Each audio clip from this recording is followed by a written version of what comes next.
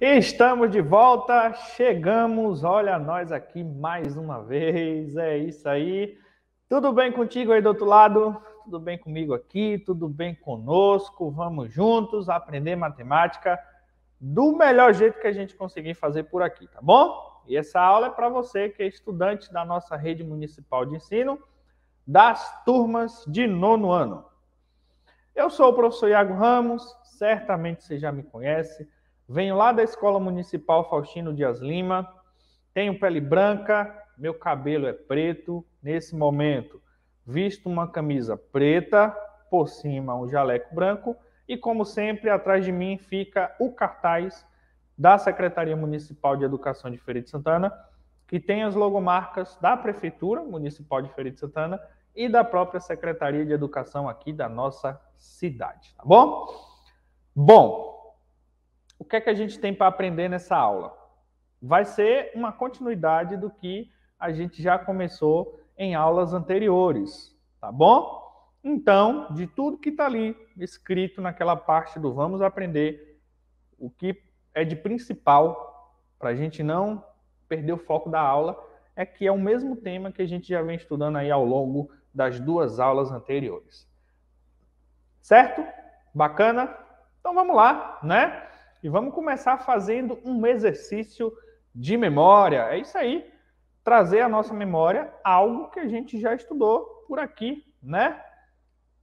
E a gente vai fazer isso com uma perguntinha na próxima tela, tá bom? E essa perguntinha, para ser respondida, você vai precisar aí do seu caderno, aquele caderno que você usa para estudar matemática, tá bom? Lápis, borracha, caneta, porque sim, tem cálculo, tem rascunhos para serem feitos. Tranquilo? Vamos lá, vamos aprender em casa? Então vamos lá, vem comigo, vamos juntos. A pergunta é a seguinte: Qual par é a solução para as equações x mais y igual a 5 e 2x menos y igual a 1? É o par que está na letra A, 1, 4, 1 para x, 4 para y? É o par que está no item B, 2, 3, 2 para x, 3 para y, ou é o par que está no item C, 5, 0, 5 para x, 0 para y. Eu vou te dar um tempo e esse tempo vai ser de um minutinho, tá bom? Vamos lá.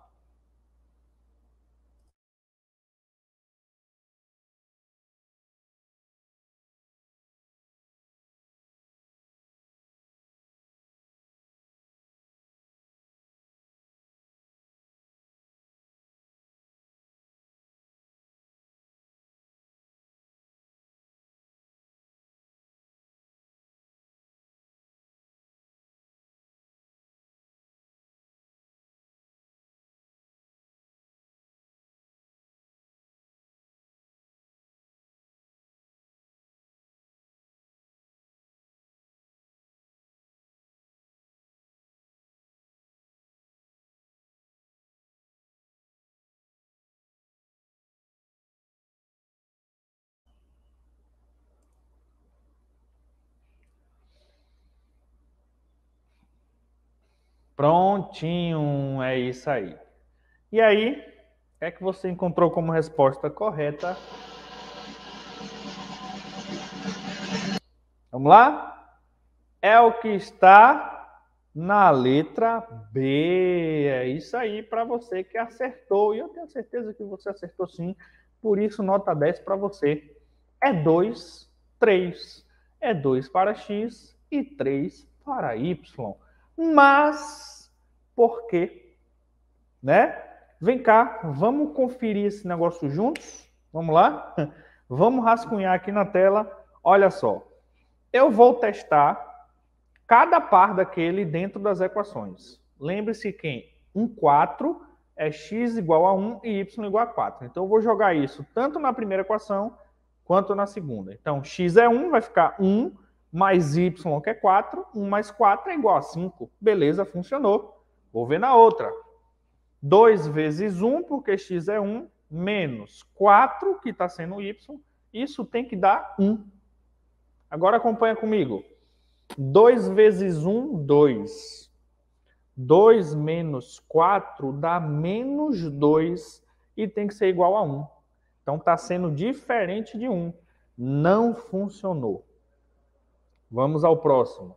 2, 3, x é igual a 2, y é igual a 3. Eu vou nas equações, onde tem x eu boto 2, onde tem y eu boto 3. Então, x mais y fica 2 mais 3 igual a 5. 2 mais 3 é igual a 5. Na outra equação, troca x por 2, fica 2 vezes 2. y por 3 fica menos 3. 2 vezes 2, 4. 4 menos 3, 1.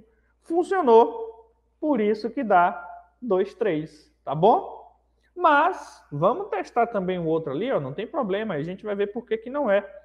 x vale 5 agora, y vale 0, então x mais y fica 5 mais 0 igual a 5. 5 mais 0 é 5. Agora na segunda, 2 vezes x, que é 5, 2 vezes 5, menos y, que é 0, menos 0. 2 vezes 5 dá 10, 10 menos 0 não dá 1, é diferente de 1. Então, como resposta correta, né? É o par 2, 3, x igual a 2, y igual a 3. Tá bom? Lembrou? Né? Por quê? Essa forma de fazer aqui, ó, a gente já viu em alguma aula por aqui. Beleza? Tá bom? Então é isso aí. Mas, com base no que a gente veio fazendo aqui, ó, com essa perguntinha que a gente trouxe, com isso que a gente, que, que a gente acabou de de relembrar o que, que a gente está estudando, né? Nós estamos estudando o quê? Nós estamos estudando, né? Sistema de equação do primeiro grau que tem duas incógnitas. E a gente já aprendeu a resolver esses sistemas de duas formas. Uma forma é fazer por tentativas, que é essa que a gente acabou de fazer. Ficou tentando para ver qual é a correta e tem o método da substituição, que a gente fez na aula anterior. Mas, professor, eu, eu acho que eu esqueci como é que faz a substituição. Não tem problema. Bora ver de novo? é isso aí, né? A gente vai relembrar esse método da substituição, tá bom? Para resolver sistemas de equação do primeiro grau que tem duas incógnitas. Vamos juntos? Vem comigo, olha só. Para aplicar o método da substituição, para resolver sistemas de equação do primeiro grau com duas incógnitas, a gente precisa fazer duas coisas. Primeiro, escolhe uma das equações, isola uma das incógnitas. Esse é o primeiro passo. Depois, aplica a substituição na outra equação. Vamos lá a gente só consegue entender isso direitinho fazendo na prática, beleza? Então, aqui comigo na próxima tela. Primeiro passo, isolar uma das incógnitas. Escolhe uma das equações do sistema e isola uma das incógnitas. O que é isolar uma das incógnitas? É deixar ela sozinha de um lado. Então, eu vou deixar o x ali sozinho, eu vou isolar o x. Eu só quero que do lado esquerdo fique x. Então, aquele mais y vai sair dali e vai para o outro lado. E fica como? Fica 7, que já está lá, menos y. Porque se sai de um lado mais y, quando muda de lado, inverte a operação, fica menos y. Já cumprimos a primeira etapa. E agora o que é que a gente vai fazer? Agora a gente vai precisar da segunda equação. Porque nessa segunda equação a gente vai fazer uma substituição. É por isso que o nome do método é esse. E qual substituição, professor? No que a gente isolou ali, ó, o x, x ficou igual a 7 menos y. O que é que isso significa? Que x tem o valor, nesse momento, de 7 menos y. Então, na outra equação, eu posso substituir 7 por... Aliás, eu posso substituir x por 7 menos y. Eu tiro x e coloco 7 menos y. Então, onde tem 12 vezes x, vai ficar 12 vezes 7 menos y. Detalhe que eu não posso esquecer. Esse 7 menos y dentro dos parênteses, porque se colocar fora, dá a ideia que 12 vai multiplicar só o 7. E o x não é só o 7. O x é 7 menos y. Tá bom? E aí o resto da equação eu anoto ali porque eu ainda não usei. Então, mais 8y igual a 68. Aonde tem 12 vezes 7 menos y, esse 12 fora dos parênteses multiplica cada coisa dentro do parêntese, tá? Então, ali a gente precisa fazer 12 vezes 7 e depois 12 vezes menos y. Isso é a propriedade da distribuição da multiplicação, tá? 12 vezes 7 é 84, 12 vezes menos y menos 12y, o resto da equação eu copio porque eu ainda não vou usar. Bom, o que é que a gente vai fazer agora? Vai operar menos 12y com mais 8y, e esse 84 que não tem y, joga para o outro lado para fazer a operação com 68 que também não tem y, tá bom? Devo 12y, tenho 8y para pagar, fico devendo 4y, então menos 4y. O 84, né, quando muda de lado, inverte a operação, aqui ele estava positivo, mudou, vai negativo, menos 84. Então, menos 4y é 68 menos 84, que dá menos 16. Eu não quero o valor de menos y, eu quero o valor de y positivo. Então, o que é que eu faço? Eu pego toda a equação e multiplico por menos 1, com a intenção de deixar aquilo que tem y positivo. Tá bom? E aí, vai mudando o sinal de tudo. O que era negativo fica positivo, se, né, caso o que está do outro lado fosse positivo, iria ficar negativo, tá bom? Então, 4y, esse 4 multiplica y, quando troca de lado, vai na divisão, operação inversa. 16 dividido por 4, y é igual a 16 dividido por 4, então y é igual a 4, né? y é igual a 4. Pronto achei o valor de y na equação. Qual é o próximo passo? Eu volto a fazer outra substituição. Eu pego esse valor de y e escolho uma das equações que estão ali e troco y por 4. Pode ser a primeira, tá bom? Você pode pegar e trocar y por 4 em x mais y igual a 7. Pode ser na que o x está isolado, x igual a 7 menos y ou pode ser na outra, 12x mais 8y igual a 68. Você escolhe onde você quer trocar o valor desse y. Eu pego aquela que o x está isolado, porque as contas são mais fáceis, tá bom? É só ir no yzinho, tira o y e bota 4. E como é que fica isso? Vai ficar da seguinte maneira. Tirando o y botando 4, vai ficar 7 menos 4. Então, x é o resultado de 7 menos 4, que é quanto? Que é 3. Prontinho. Resolvemos esse sistema de equação do primeiro grau com duas incógnitas, aplicando o chamado método da substituição. Tá bom? Tranquilão? Beleza? Bom, até aqui deu para lembrar das coisas, até aqui entendeu, mas entendeu quanto? A gente sempre faz esse momento, e esse momento é importante para a gente avaliar o quanto é que a gente está entendendo das coisas, tá bom? E a gente sempre usa esse parâmetrozinho aqui, ó. Número 1 em vermelho para pouco, número 2 em laranja para metade, número 3 em amarelo para a maioria e número 4 em verde para bastante. E aí a gente sempre tem os 30 segundos para a gente avaliar, pensar um pouquinho, né, o quanto a gente entendeu até aqui.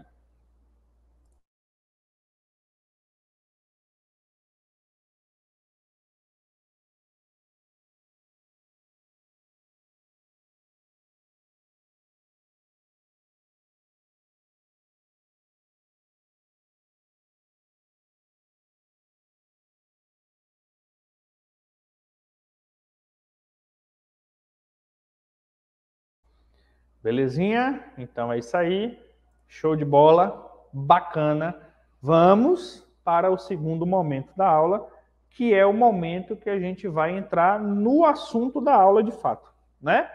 E a gente vai voltar a resolver um problema que a gente já vem resolvendo esse problema ao longo dessas aulas.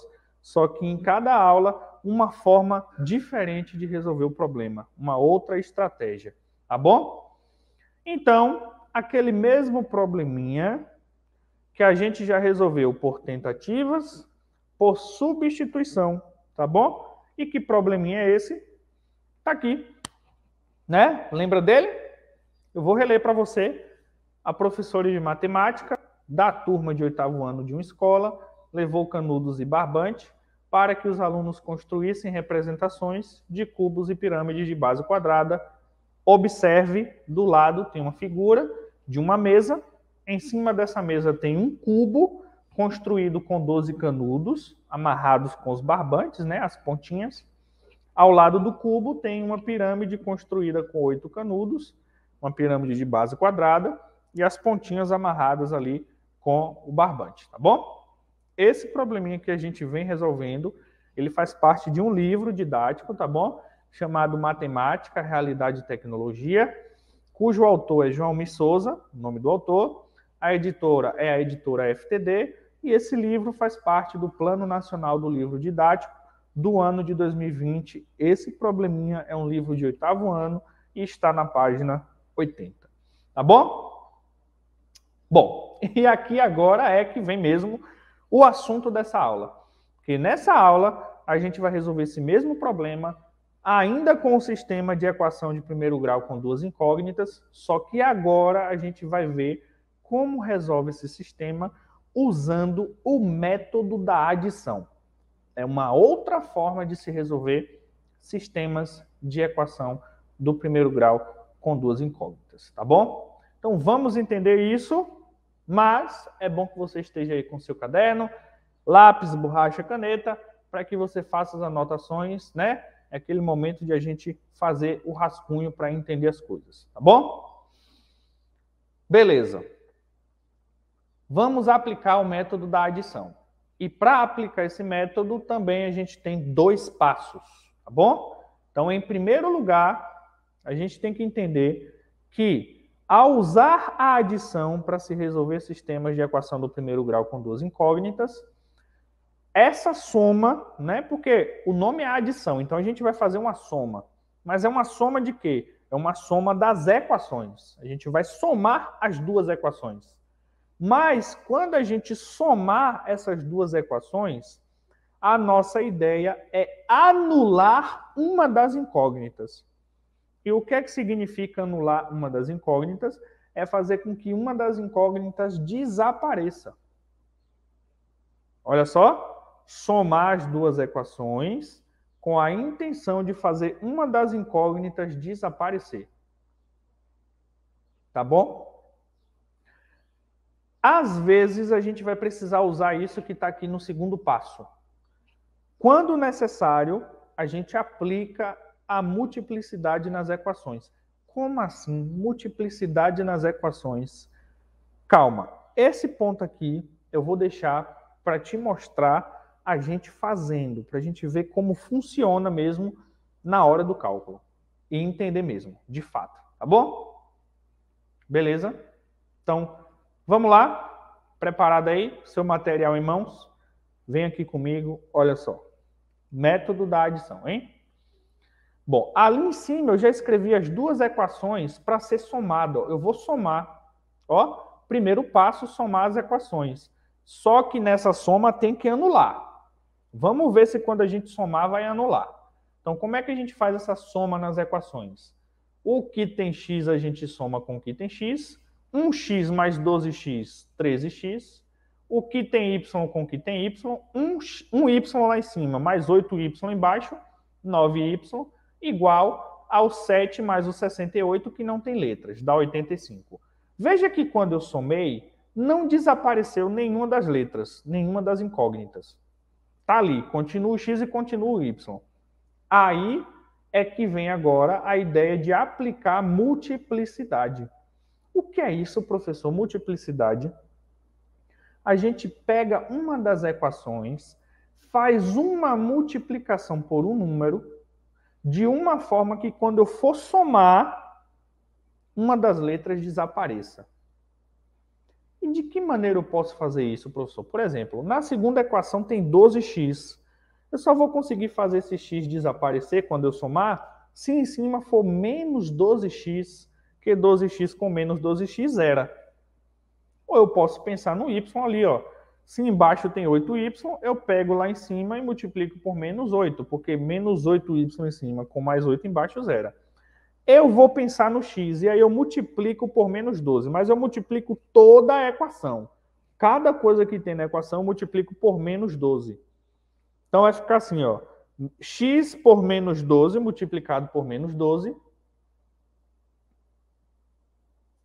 vai ter como resultado menos 12x e as outras coisas da equação também multiplicado por menos 12. Ó. y vezes menos 12.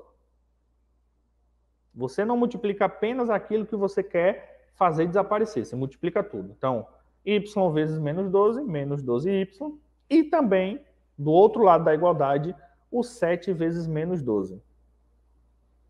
Então, vai dar menos 84. Por que, que eu fiz essa multiplicação? Por que, que eu usei essa multiplicidade na equação de cima? Porque eu vou pegar a outra que eu não usei ó, e vou colocar ali embaixo e fazer a soma.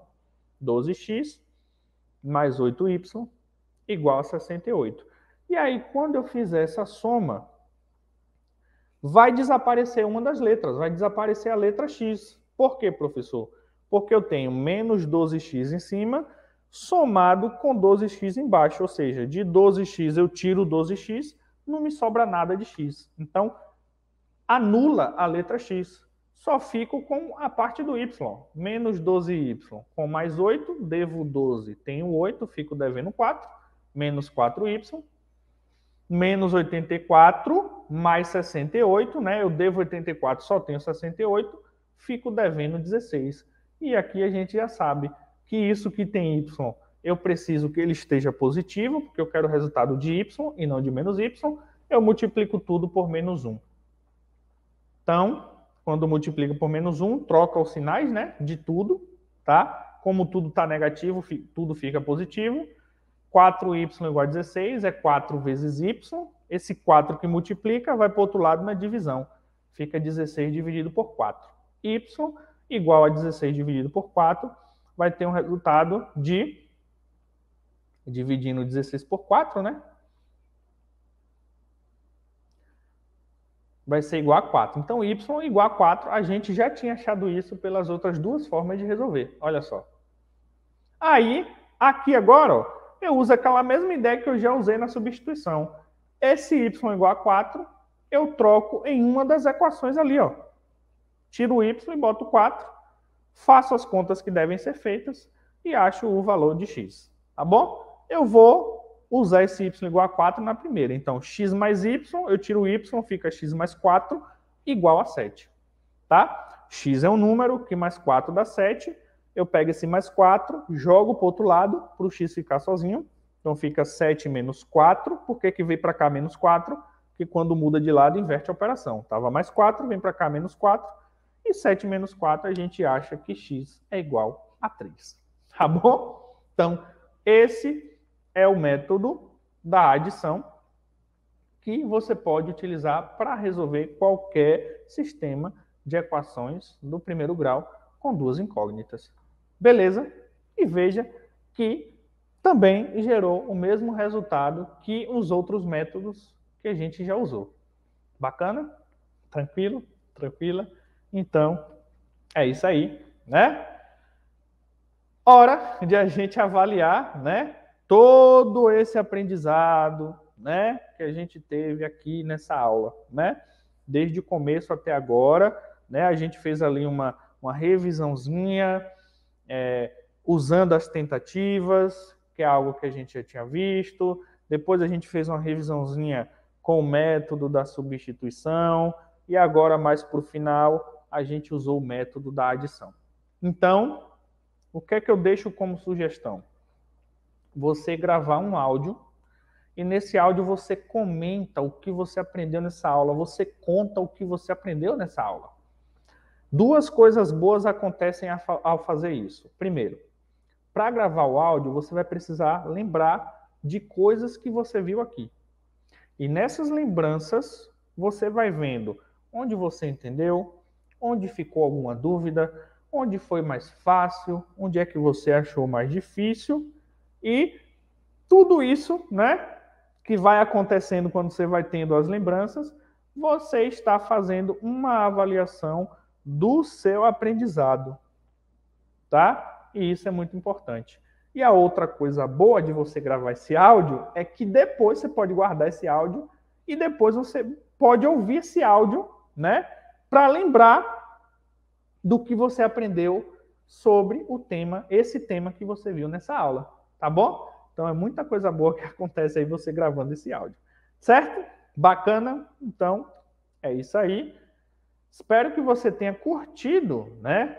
A nossa aula. Nós aqui curtimos bastante e já estamos sim ansiosos para nos vermos na próxima aula. Tá bom? Essa daqui a gente finaliza. Desde já até a próxima. Não esquece do nosso lema, a nossa regra para aprender matemática, tá bom? E leva isso para outras pessoas também, tá bom? Matemática não é problema, matemática é solução. É isso aí, valeu, até a próxima, bye bye.